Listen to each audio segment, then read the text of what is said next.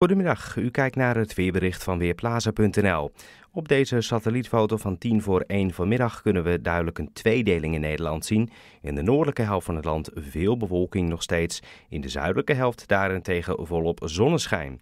Afgelopen nacht hadden we die tweedeling ook en dat kunnen we terugzien in de minimumtemperatuur. In het noorden was die vrij hoog, 6 of 7 graden, maar in de zuidelijke helft juist behoorlijk laag, met 0 tot plaatselijk zelfs min 2 graden als minimum.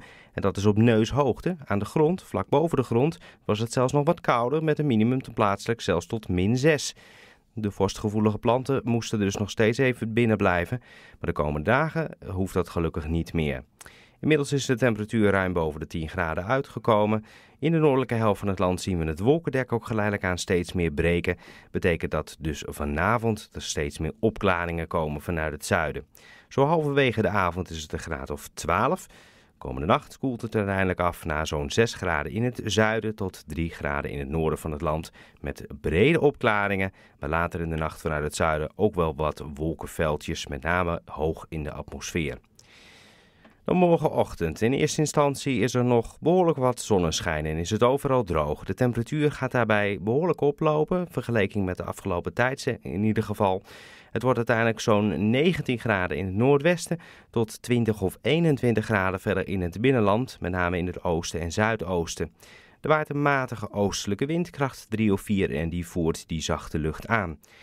Zo rond het middaguur gaat vanuit het zuiden uit de bewolking toenemen. En dan gaat er toch het een en ander veranderen in de middag. Want dan trekken er vanuit het zuiden een aantal buien het land in. En die buien kunnen met name in de zuidelijke provincies nog wel eens met een klap onweer gepaard gaan.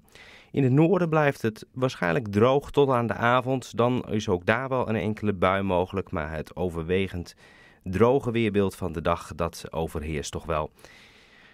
Dan de dagen daarna zien we dat het eigenlijk wel aan de warme kant blijft voorlopig. Middagtemperatuur rond een graad of 19 tot 20. Op vrijdag misschien een beetje wat lager. Dan ook vrij somber weer.